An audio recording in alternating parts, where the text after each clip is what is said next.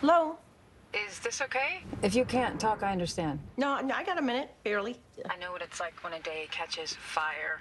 Oh, though with me, it's usually because a wide receiver got arrested in Vegas with a hooker. That's not exactly what you're dealing with. I just, I just wanted to say if you can't make tonight, it's no problem. We'll just do it another time. No, I'm hoping we can. Let's just, um, you know, see where the day goes. Sounds good. And uh, I'm not a half bad negotiator if you need any help. All right. Well, my people are pretty solid, but I will keep you in mind. All right, I'll talk to you later. I hope. Okay. Boss, I think I have an ID on the second guy. The octopus here is almost as good as the Adriatic. Aren't they supposed to be, like, really smart?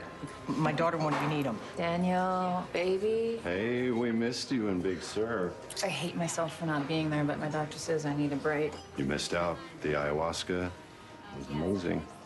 Allow me to introduce to you Abigail Thomas, our chief of police. Hello, Daniel.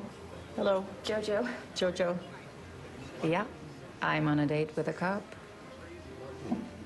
And lucky for both of you, uh, then you too, probably, Jojo. I didn't hear a thing about ayahuasca. Nice to see you. Hi. Yeah. Sorry about that.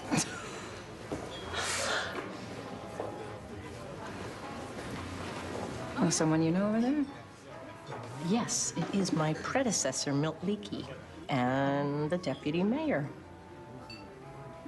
I know it sounds paranoid, but I think they are conspiring against me. Wow.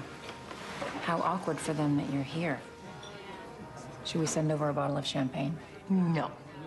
I need the bottle of champagne. Quickly.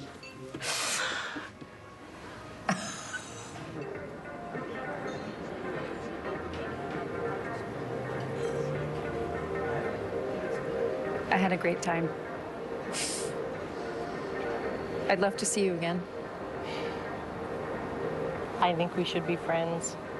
I like to think of friendship as a foundation for dating.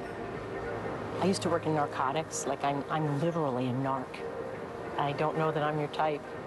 Why don't you let me worry about that? We don't have anything in common. sure we do.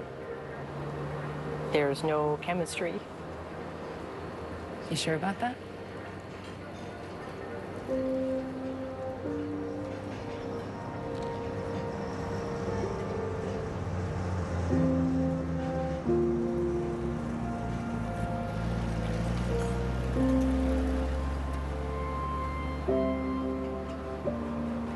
Well,